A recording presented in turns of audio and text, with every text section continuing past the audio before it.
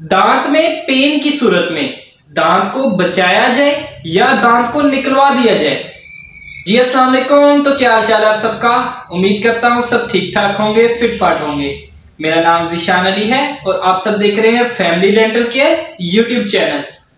अगर आपके दांत में पेन हो रही हो और आंटियों और बाजियों के घरेलू टोटकों को छोड़ें।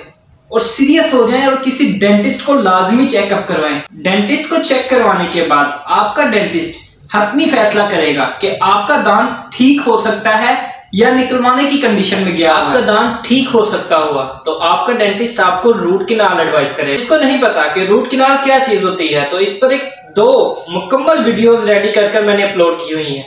लिंक डिस्क्रिप्शन में दे दूँगा लाजमी देखें। क्योंकि अपने दांत से बड़ी और बेहतरीन नेमत कोई भी नहीं। हमें अल्लाह का शुक्र अदा करना चाहिए कि हमारे दांत ठीक ठाक हैं।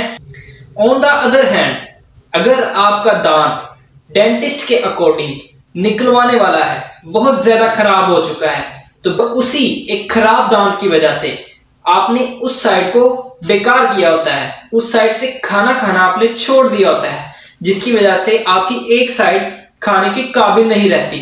और आ, और आपके उसी एक दांत की वजह से उसके आगे वाला और उसके पीछे वाला दांत कैविटी लगने का शिकार होता है। तो बेहतर मशवरा यह है कि उसको निकलवा आज तक के लिए दे मुझे इजाज़त। मेरा नाम जिशान अली है और आप सब देख रहे हैं family dental care YouTube channel